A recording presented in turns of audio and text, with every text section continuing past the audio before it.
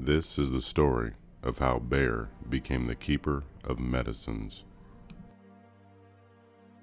Beginning of time, people lived in harmony with the land. They lived in harmony with their brothers and sisters. The plants, trees, animals, insects, snakes, the fish, and the birds. The people realized that the plants and animals were of spirit and were placed here on earth to help them. The people were grateful for the help of the animals, the plants, the trees, and for what they wanted to honor them. One day they heard a beautiful song from a bird, and they came aware how this tiny creature made them feel. They wanted to sing in return to make the spirit of the animals feel as they did when they heard the songs from the birds. And so they asked for songs from the spirits to sing to their brothers and sisters the animals, plants, fish.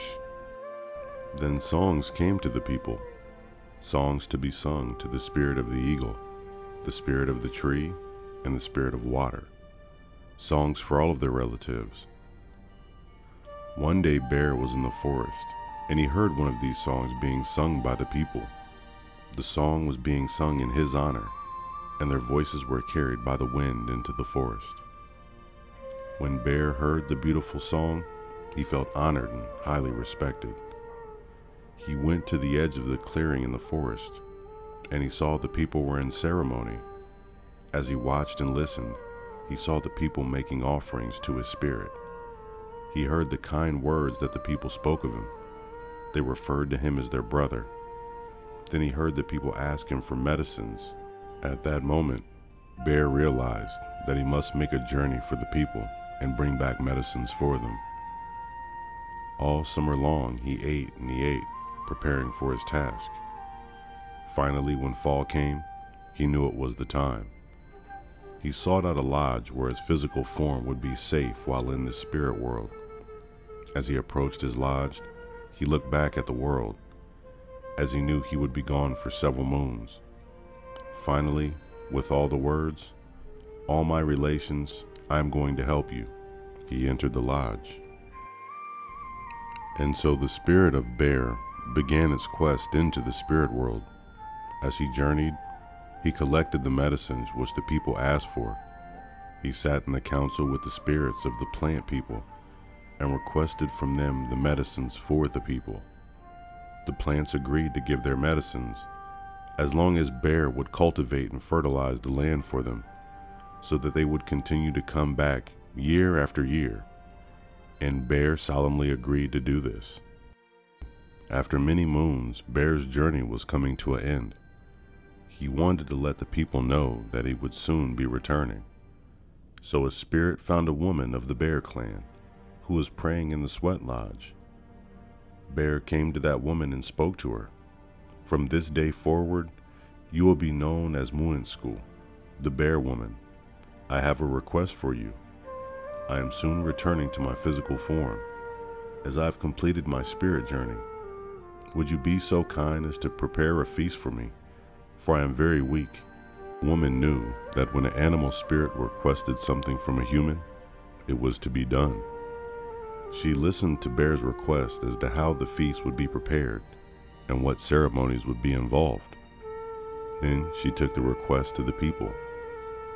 She told them of her vision and shared with the people the details of Bear's request. The people were very happy and immediately began preparations for the feast. She told them the berries of which the bear asked for.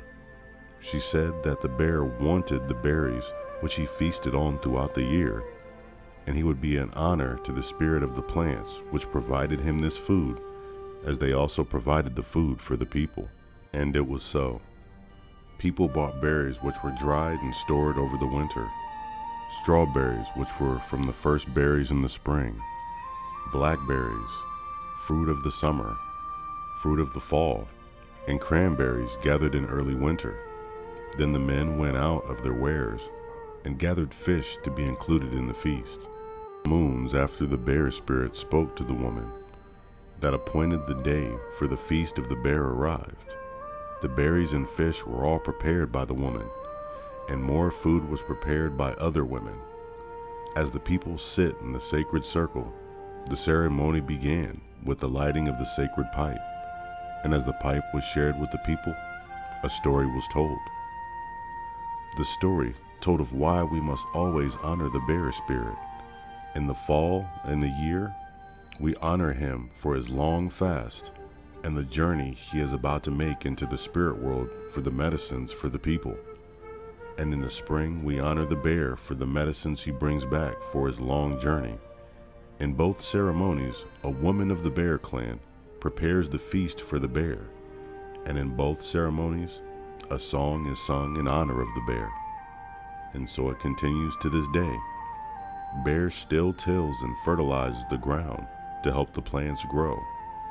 And during the cold winter, he journeys to the spirit realm to seek out the medicines for the people. And each year in the fall and spring, the Indian peoples gather together for a feast in his honor. That is the story of how Bear became the keeper of the medicines.